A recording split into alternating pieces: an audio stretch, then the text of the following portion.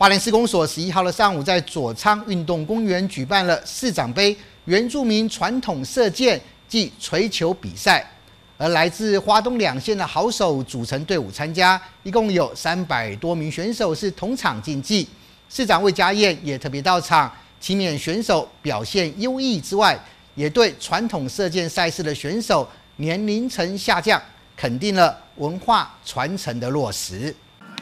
选手们屏气凝神，拿起弓箭，瞄准目标，在哨音响后进行射击。而另一头则由老大人组成球队，在一望无际的大草皮上进行吹球比赛。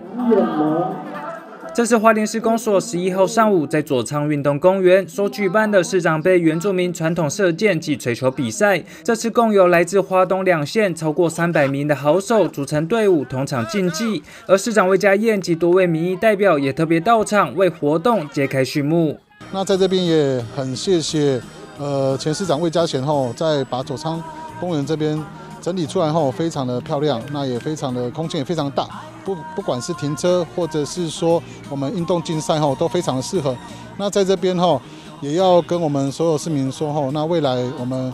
呃左昌这边会逐步的来做整理，那未来会逐步的来做建设吼。那在这边吼，今天有很多的我们呃选手吼也提到说，未来能够办更多的竞赛，包括弹弓啊等等之类，那我们都会严意来办理。其实场地是非常非常好的，那未来我们也会持续的建议。呃，不论是县级跟中央，持续的能够挹注相关的经费，把这么好的一个园区持续来做改善跟活化，让这个地方过去的闲置空间或者是林闭空间哈，能够重新的活络起来，也让更多的人来这里享受更多的一个运动乐趣。左昌公园不但挥别以往的阴霾氛围，也翻转民众对左昌过去的刻板印象。透过与活动赛事的结合，活化地方的发展。而市长魏家燕也感谢各界支持，让这项赛事成为许多选手指定参与的赛程。而今年的奖杯也特地邀请原住民工艺老师陈子璇，以泰鲁格竹藤编背篓为意象，让整个比赛不仅彰显传统，更可作为文化价值的珍藏。